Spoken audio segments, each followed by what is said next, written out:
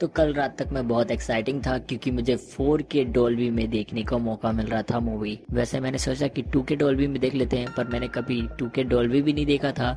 और ना ही 4K Dolby. वैसे मैं आई में भी देखना चाहता था, पर मैंने सोचा कि पहले डॉल्बी में देख लेते हैं, उसका एक्सपीरियंस कैसा होता है। और इसलिए मैंने रिव्यू देखा डॉल्बी का। तो किसी ने थिएटर के बारे में रिव्यू किया ही नहीं था कि थिएटर में आखिर कैसा डॉल्बी का एक्सपीरियंस होता है। मतलब किसी ने एक बंदे ने बताया था, पर उस तरीके से नहीं बताया था कि कहाँ आपको जाना है, कितना बड़ा थिएटर है।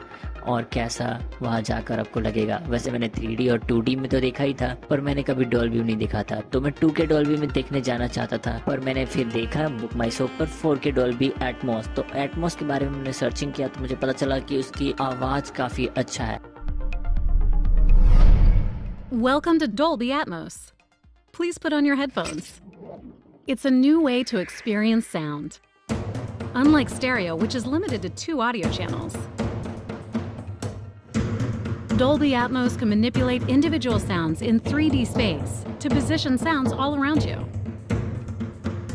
इसलिए मैं निकला पास ही के साकेत पीवीआर मॉल में। पीवीआर मॉल नहीं था, वो एक तरह से सिनेमा ही था। तो मैंने साकेत के मॉल में गया। मुझे जाना तो बहुत जल्दी था, साढ़े दस बजे का शो था, क्योंकि उस समय का शो बहुत सस्ता होता है और डॉल्बी के प्राइजेस काफ़ी हाई होते हैं। तो इसलिए मैंने सोचा कि बुक माई शो से अगर मैं बुक करूँगा तो 250 का टिकट मुझे 290 का पड़ेगा। और हम फिर दो लड़के गए, क्योंकि मुझे एक और लड़के को लेके जाना था। तो हम उसके बाइक से निकले पैसे बचाने के लिए। और हम निकले दस बजे। थे और लगभग हम 20 मिनट में पहुँच गए और हमारे पास था सात मिनट तो फिर हम गए टिकट काउंटर पर। तो टिकट काउंटर नहीं था एक लॉन्च जैसा था। तो हमने वहाँ से टिकट बुक किया और हमारा कट गया चूतिया क्योंकि जो ढाई सौ का टिकट था, हमने बुक किया सी का बारह और तेरह तो हमें मिला वही टिकट सात सौ का। और फिर उस बंदे ने बताया, जिसने हमारा टिकट काटा था, कि आपका तीन सौ का बाउचर है, जो आप ले सकते हो खाने के लिए जाना और दिखाना। तो आपको मिलेगा फ़ूड बाउचर तो फिर मैं मैं सोचा क्या मूवी देखूँ या बाउचर लेके जाऊँ। तो फिर मैं फ़ूड काउंटर पे गया और मैंने अपने तीन सौ वसूले। अब सारे बंदों को तो जाना रहता है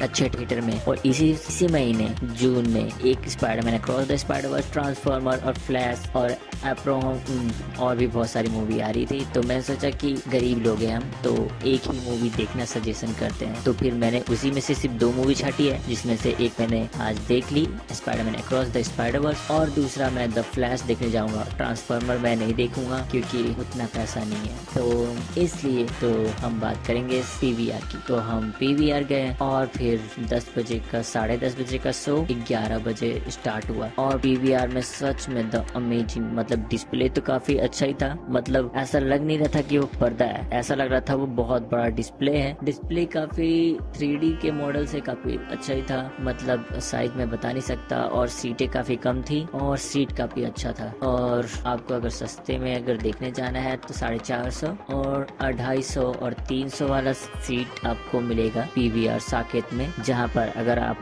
इस एरिया के आसपास में हैं तो आप वहाँ जा सकते हो देखने। और मैं थिएटर का रिव्यू करूँगा कि कौन सा थिएटर सबसे ज़्यादा अच्छा है और कहाँ का सबसे बेस्ट है।